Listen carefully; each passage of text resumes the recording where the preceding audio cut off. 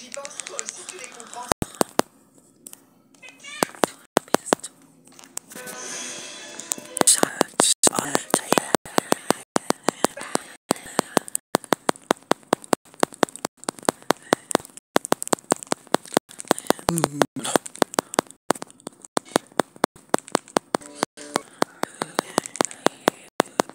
Mm-hmm.